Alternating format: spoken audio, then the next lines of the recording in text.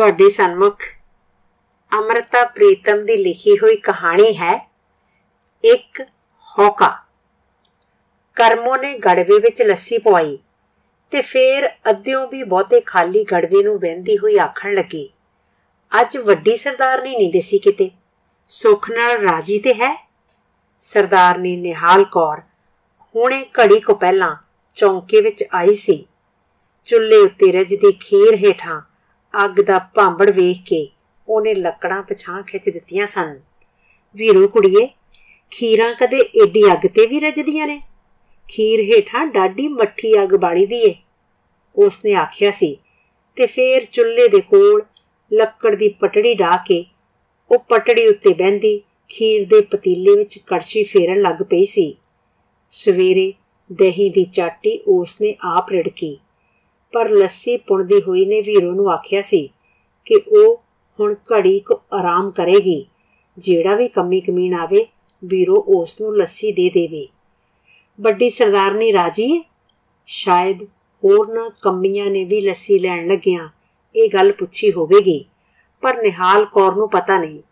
ਉਹ ਅੰਦਰਲੇ ਕਮਰੇ ਵਿੱਚ ਸੀ, ਪਰ ਇਸ ਵੇਲੇ ਜਦੋਂ ਉਹ ਚੌਂਕੇ ਵਿੱਚ ਬੈਠੀ ਸੀ ਤਾਂ ਦਲੀਜ਼ਾਂ ਤੋਂ ਪਾਰ ਬੈਠੀ ਹੋਈ ਕਰਮੋ ਦੀ ਆਵਾਜ਼ ਉਸਨੇ ਆਪ ਸੁਣੀ। ਰਾਜੀ ਆ ਕਰਮੋ, ਤੂੰ ਰਾਜੀ ਹੈ ਨਿਹਾਲ ਕੌਰ ਨੇ ਅੰਦਰੋਂ ਆਵਾਜ਼ ਦਿੱਤੀ।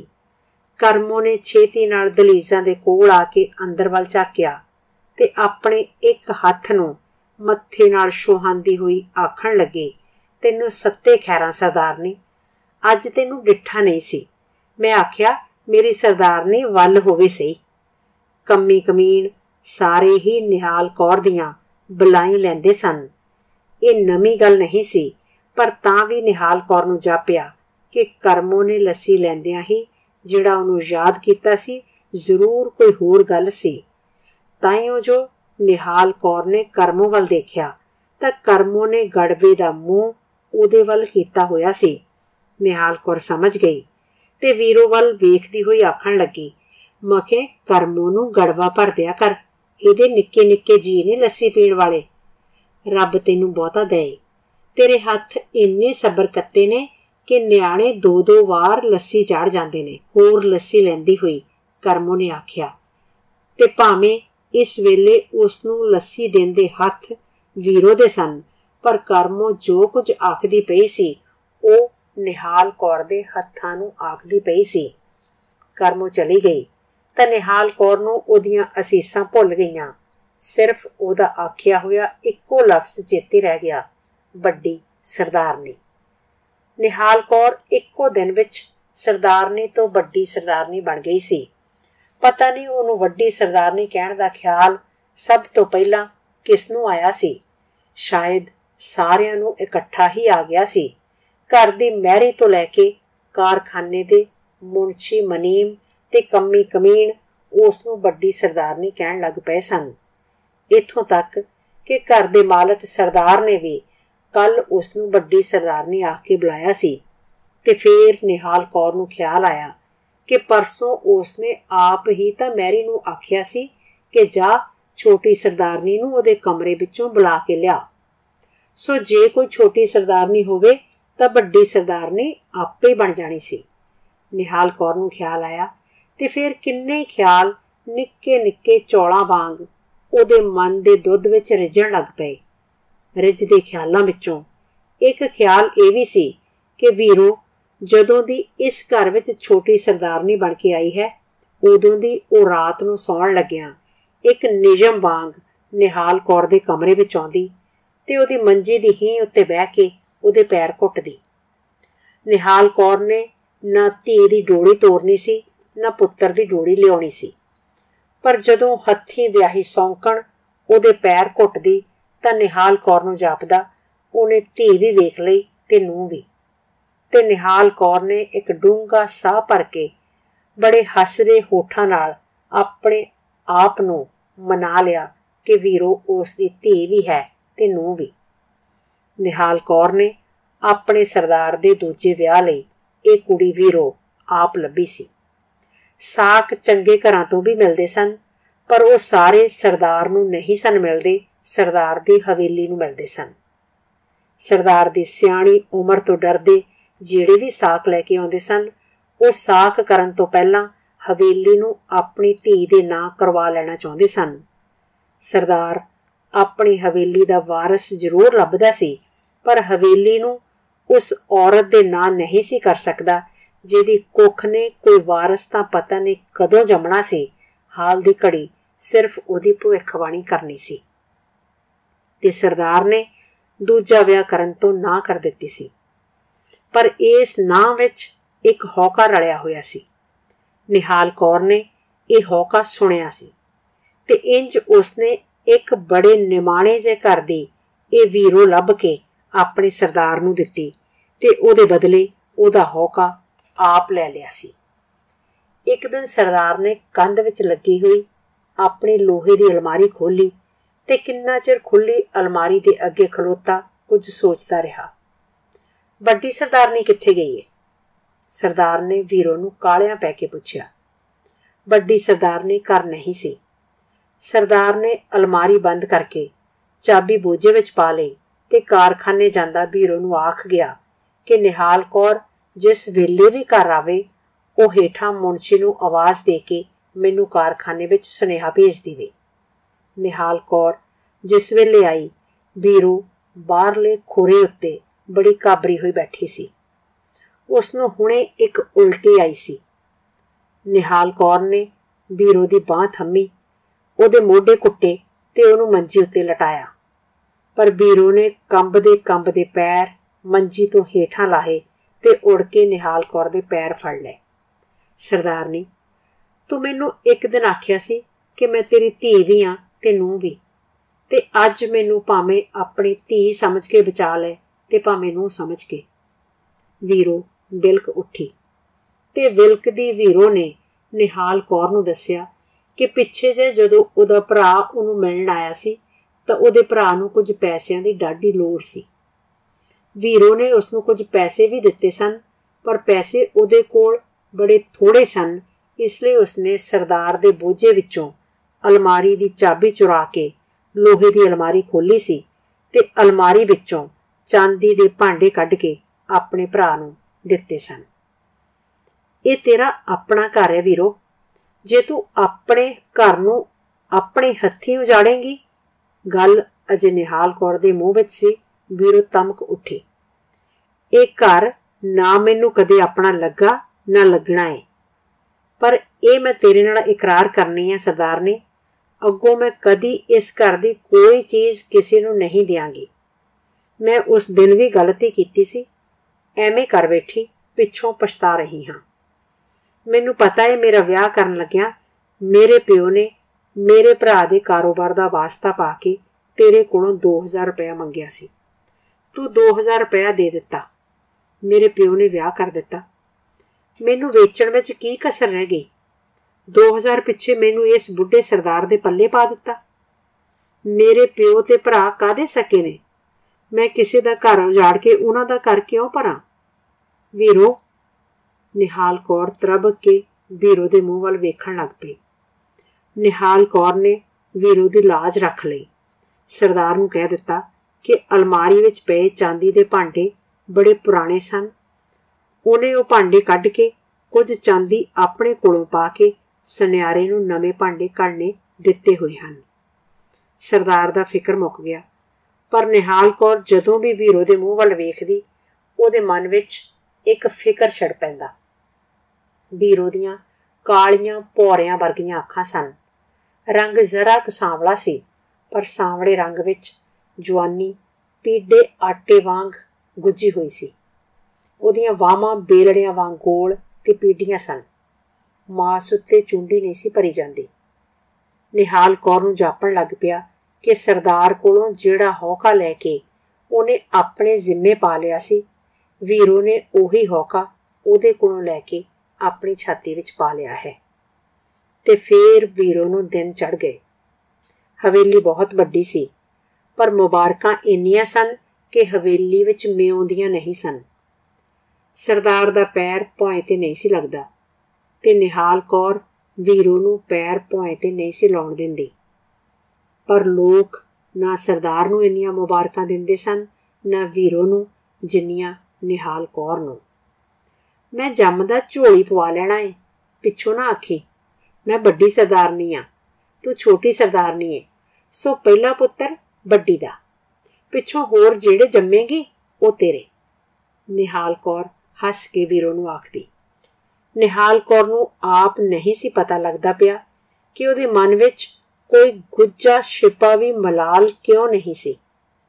ਉਹਨੇ ਆਪਣੇ ਹੱਥੀਂ ਆਪਣਾ ਖਾਵੰਦ ਇੱਕ ਪਰਾਈ ਔਰਤ ਨੂੰ ਦੇ ਦਿੱਤਾ ਸੀ ਤੇ ਹੁਣ ਉਸਨੇ ਸਾਰੀ ਜ਼ਮੀਨ ਜਾਇਦਾਦ ਵੀ ਇੱਕ ਪਰਾਈ ਔਰਤ ਦੇ ਪੁੱਤਰ ਨੂੰ ਦੇਣੀ ਸੀ। ਟੂਣੇ ਹਾਰੀਏ ਮੈਂ ਕਿਹੜੇ ਵੇਲੇ ਤੈਨੂੰ ਆਪਣੀ ਧੀ ਤੇ ਨੂੰ ਆਖਿਆ ਸੀ? ਮੈਂ ਸੱਚੇ ਮੁੱਚੇ ਇੱਕ ਸੱਸ ਮਾਂ ਵਾਂਗ ਹਾਂ। ਮੈਨੂੰ ਕਦੀ ਇਹ ਚੇਤਾ ਨਹੀਂ ਰਹਿੰਦਾ ਕਿ ਤੂੰ ਮੇਰੀ ਨਿਹਾਲ ਕੌਰ ਦੀ ਇਸ ਗੱਲ ਨੂੰ ਵੀਰੂ ਟੁੱਕ ਦਿੰਦੀ ਤੇ ਹੱਸ ਕੇ ਆਖਦੀ, ਸਰਦਾਰਨੀ, ਮੈਂ ਭਾਵੇਂ ਤੇਰੀ ਕੁਝ ਲੱਗਨੀ ਆ, ਭਾਵੇਂ ਨਹੀਂ, ਪਰ ਇਹ ਮੈਨੂੰ ਪਤਾ ਏ ਕਿ ਮੈਂ ਤੇਰੀ ਸੌਂਕਣ ਨਹੀਂ ਲੱਗਦੀ। ਨਿਹਾਲ ਕੌਰ ਨੇ ਤਰਖਾਨ ਕੋਲੋਂ ਜਿਹੜਾ ਪੰਗੂੜਾ ਬਣਵਾਇਆ ਉਸ ਪੰਗੂੜੇ ਨੂੰ ਚਾਂਦੀ ਦੀਆਂ ਘੰਟੀਆਂ ਬੰਨੀਆਂ। ਸੁੱਚੇ ਪੱਟ ਦੀ ਉਸਨੇ ਨਿੱਗੀ ਜੀ ਰਜਾਈ ਬਣਵਾਈ, ਛੋਟੀ ਜਿਹੀ। ਸ਼ਹਿਰ ਦਾ ਇੱਕ ਅੰਗਰੇਜ਼ ਅਫਸਰ ਇੱਕ ਮਹੀਨੇ ਦੀ ਛੁੱਟੀ ਬੁਲਾਏ ਚੱਲਿਆ ਸੀ।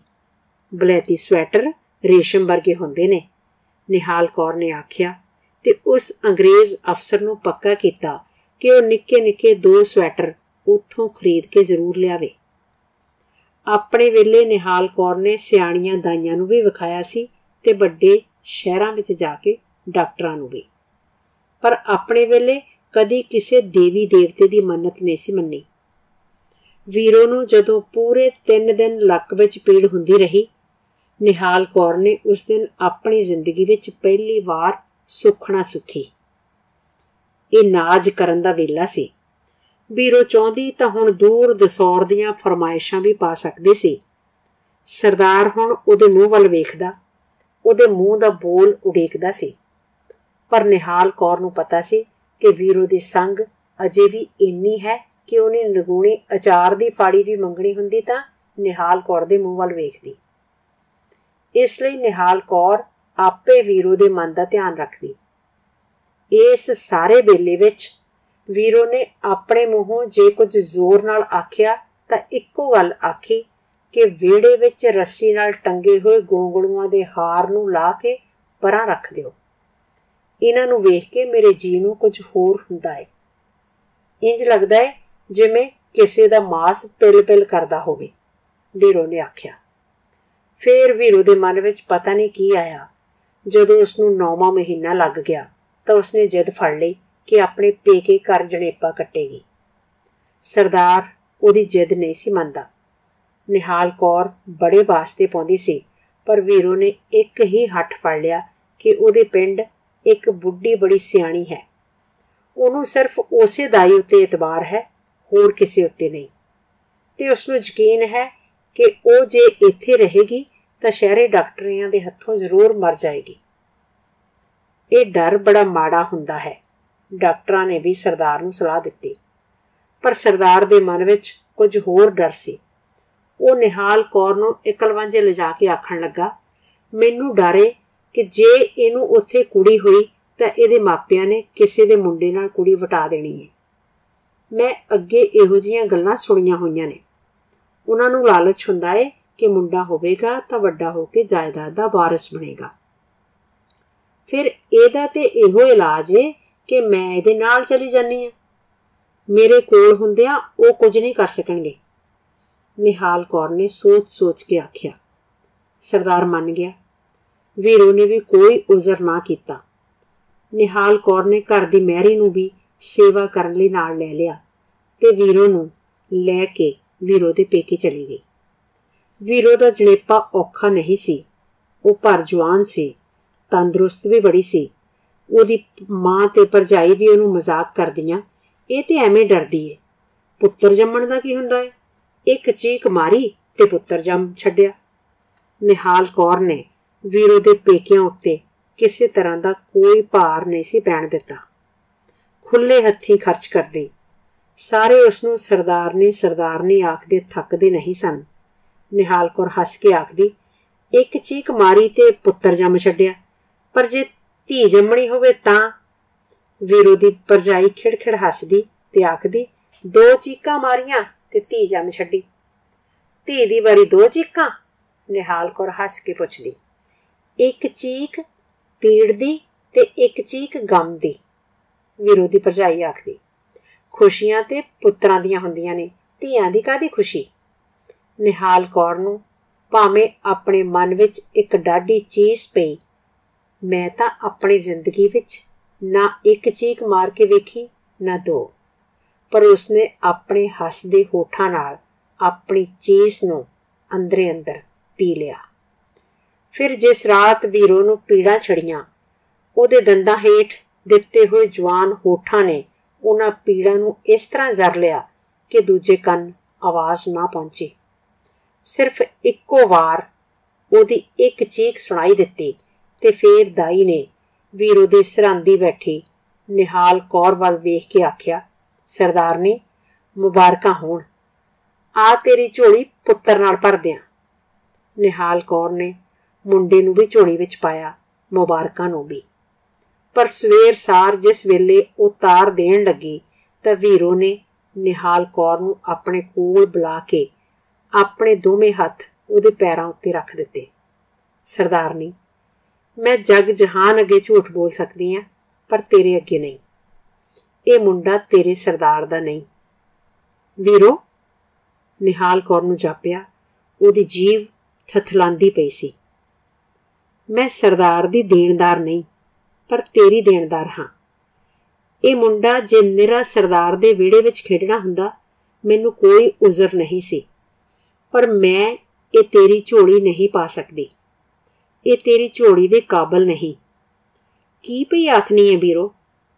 ਕੀਤਾ ਤੇ ਹਾਸੇ ਪਾਣੇ ਸੀ, ਪਰ ਹਾਸੇ ਦਾ ਵਿਨਾਸ਼ਾ ਖੋਰੇ ਇੰਜੀ ਹੁੰਦਾ ਹੈ। ਪਰ ਤੈਨੂੰ ਸੱਚੀ ਦੱਸਾਂ, ਮੈਨੂੰ ਆਪਣੇ ਲਈ ਕੋਈ ਪਛਤਾਵਾ ਨਹੀਂ।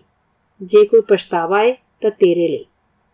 ਵੀਰੋ, ਤੈਨੂੰ ਯਾਦ ਹੈ ਮੈਂ ਇੱਕ ਫੇਰਾ ਪੇਕੇ ਆਈ ਸਾਂ, ਪਿਛਲੇ ਬਰੇ। ਤੁਹਾਡਾ ਮੁੰਸ਼ੀ ਮੇਰੇ ਨਾਲ ਆਇਆ ਸੀ, ਮੈਨੂੰ ਪੇਕਿਆਂ ਨੂੰ ਮਿਲਾਉਣ ਲਈ। ਇੱਥੇ ਸਾਰੇ ਪਿੰਡ ਵਿੱਚ ਇਹ ਗੱਲ ਫੈਲ ਗਈ ਸੀ ਕਿ ਮੇਰੇ ਮਾਪਿਆਂ ਨੇ ਰੁਪਈਆ ਲੈ ਕੇ ਮੈਨੂੰ ਇੱਕ ਬੁੱਢੇ ਸਰਦਾਰ ਨਾਲ ਵਿਆਹ ਦਿੱਤਾ ਹੈ। ਸਰਦਾਰ ਕਦੇ ਇਸ ਪਿੰਡ ਨਹੀਂ ਆਇਆ। ਮੇਰਾ ਪਿਓ ਹੀ ਮੈਨੂੰ ਤੁਹਾਡੇ ਸ਼ਹਿਰ ਲੈ ਕੇ ਗਿਆ ਸੀ ਤੇ ਗੁਰਦੁਆਰੇ ਵਿੱਚ ਲਾਮਾ ਪੜਾ ਕੇ ਤੁਹਾਡੇ ਘਰ ਛੱਡ ਆਇਆ ਸੀ। ਮੈਂ ਜਦੋਂ ਪਿੰਡ ਆਈ, ਜਣੀ ਖਣੀ ਨੇ ਮੈਨੂੰ ਪੁੱਛਿਆ ਕਿ ਮੇਰਾ ਸਰਦਾਰ ਕਿੰਨਾ ਕੁ ਬੁੱਢਾ ਹੈ? ਤਾਂ ਮੈਨੂੰ ਕੀ ਸੁੱਜੀ ਮੈਂ ਉਹਨਾਂ ਨੂੰ ਗਲੋਂ ਲਾਉਣ ਲਈ ਆਖ ਦਿੱਤਾ ਕਿ ਮੇਰਾ ਵਿਆਹ ਬੁੱਢੇ ਨਾਲ ਨਹੀਂ ਹੋਇਆ। ਤੁਹਾਡਾ ਮੁੰਚੀ ਬੜਾ ਜਵਾਨ ਸੀ, ਸੋਹਣਾ ਵੀ ਸੀ। ਮੈਂ ਉਹਨਾਂ ਨੂੰ ਵਿਖਾਇਆ ਤੇ ਆਖਿਆ ਕਿ ਉਹ ਮੇਰਾ ਘਰ ਵਾਲਾ ਹੈ। ਸਾਰੀਆਂ ਮੇਰੀ ਕਿਸਮਤ ਤੇ ਹੈਰਾਨ ਰਹਿ ਗਈਆਂ। ਮੁੰਚੀ ਨੂੰ ਮੈਂ ਇਹ ਗੱਲ ਦੱਸ ਦਿੱਤੀ। ਉਹਨੇ ਵੀ ਮਚਲ ਮਾਰ ਛੱਡੀ ਤੇ ਜਦੋਂ ਮੇਰੀਆਂ ਸਹੇਲੀਆਂ ਨੇ ਉਹਦੇ ਕੋਲੋਂ ਕਲੀਚੜੀਆਂ ਮੰਗੀਆਂ ਤਾਂ ਉਹਨੇ ਸੁਨਿਆਰੇ ਕੋਲੋਂ ਚਾਂਦੀ ਦੀਆਂ ਕਲੀਚੜੀਆਂ ਖਰੀਦ ਕੇ ਉਹਨਾਂ ਨੂੰ ਵੰਡ ਦਿੱਤੀਆਂ। 6-7 ਦਿਨ ਮੈਂ ਇੱਥੇ ਰਹੀ। ਰੋਜ਼ ਹਾਸਾ ਠੱਠਾ ਕਰਦਿਆਂ ਮੈਨੂੰ ਵੀ ਇਹ ਜਾਪਣ ਲੱਗ ਪਿਆ ਕਿ ਮੇਰਾ ਵਿਆਹ ਉਹਦੇ ਨਾਲ ਹੀ ਹੋਇਆ ਹੈ, ਹੋਰ ਕਿਸੇ ਨਾਲ ਨਹੀਂ। ਸਾਡਾ ਮੁੰਚੀ ਮਦਨ ਸਿੰਘ? ਹਾਂ, ਪਰ ਮੈਂ ਹੁਣ ਪਰਤ ਕੇ ਸਰਦਾਰ ਦੇ ਘਰ ਨਹੀਂ ਜਾਣਾ, ਨਾ ਇਸ ਮੁੰਡੇ ਨੂੰ ਲਿਜਾਣਾ ਹੈ ਮੈਂ ਇਸੇ ਲਈ ਜਿੱਦ ਬਨ ਕੇ ਇੱਥੇ ਆਈ ਹਾਂ। ਮੇਰੀ ਕੀਤੀ ਮੇਰੇ ਅੱਗੇ। ਮੈਂ ਹੋਰ ਤੇਰੇ ਕੋਲੋਂ ਕੁਝ ਨਹੀਂ ਮੰਗਦੀ ਸਰਦਾਰ ਨੇ ਬਸ ਇੱਕੋ ਗੱਲ ਮੰਗਦੀ ਆ ਸਰਦਾਰ ਨੂੰ ਉਸ ਮੁੰਸ਼ੀ ਦਾ ਨਾਮ ਨਾ ਦੱਸੀ, ਨਹੀਂ ਤੇ ਉਹ ਮੁੰਸ਼ੀ ਨੂੰ ਨੌਕਰੀ ਤੋਂ ਕੱਢ ਦੇਵੇਗਾ। ਪਰ ਮਦਨ ਸਿੰਘ ਦਾ ਤਾਂ ਵਿਆਹ ਹੋਇਆ ਹੈ ਵੀਰੋ। ਉਹਦੇ ਘਰ ਦੋ ਬਾਲ ਨੇ। ਇਸੇ ਲਈ ਉਹ ਡਰਦਾ ਹੈ ਕਿ ਜੇ ਸਰਦਾਰ ਨੂੰ ਪਤਾ ਲੱਗ ਗਿਆ ਤਾਂ ਉਹਦੀ ਨੌਕਰੀ ਜਾਂਦੀ ਰਹੇਗੀ। ਉਹਨੇ ਕਿਹੜਾ ਮੈਨੂੰ ਆਪਣੇ ਘਰ ਵਸਾਉਣਾ ਹੈ ਮੈਂ ਕਿਉਂ ਉਹਦੀ ਨੌਕਰੀ ਛੁਡਵਾਵਾਂ? ਉਹ ਜਿੱਥੇ ਰਵੇ, ਰਾਜੀ ਰਵੇ। ਮੈਂ ਇੱਕ ਵਾਰੀ ਵੇਖਿਆ ਤੇ ਸਹੀ ਕਿ ਜਵਾਨ ਮਰਦ ਕਿਹੋ ਜਿਹਾ ਹੁੰਦਾ ਹੈ ਨਿਹਾਲ ਕੌਰ ਨੇ ਘਬਰਾ ਕੇ ਅੱਖਾਂ ਮੀਟ ਲਈਆਂ ਤੇ ਫੇਰ ਜਿਸ ਵੇਲੇ ਉਹਨੇ ਅੱਖਾਂ ਖੋਲੀਆਂ, ਵੀਰੋ ਦੀ ਝੋਲੀ ਵਿੱਚ ਪਿਆ ਹੋਇਆ ਉਹਦਾ ਪੁੱਤਰ ਉਹਦੀ ਛਾਤੀ ਵਿੱਚੋਂ ਦੁੱਧ ਪੀਣ ਲਈ ਮੂੰਹ ਮਾਰਦਾ ਪਿਆ ਸੀ ਤੇ ਨਿਹਾਲ ਕੌਰ ਨੂੰ ਜਾਪਿਆ, ਸਰਦਾਰ ਦਾ ਜਿਹੜਾ ਹੌਕਾ ਉਹਨੇ ਆਪਣੇ ਜ਼ਿੰਮੇ ਲੈ ਲਿਆ ਸੀ ਤੇ ਵੀਰੋ ਨੇ ਉਹਦੇ ਕੋਲੋਂ ਉਹੀ ਹੌਕਾ ਵਾਪਸ ਲੈ ਲਿਆ ਸੀ। ਇਹ ਮੁੰਡਾ ਇਸ ਵੇਲੇ ਉਸੇ ਹੌਕੇ ਨੂੰ ਵੀਰੂ ਦੀ ਛਾਤੀ ਵਿੱਚੋਂ ਚੁੰਗਦਾ ਪਿਆ ਸੀ। ਸ਼ੁਕਰੀਆ ਦੋਸਤੋ।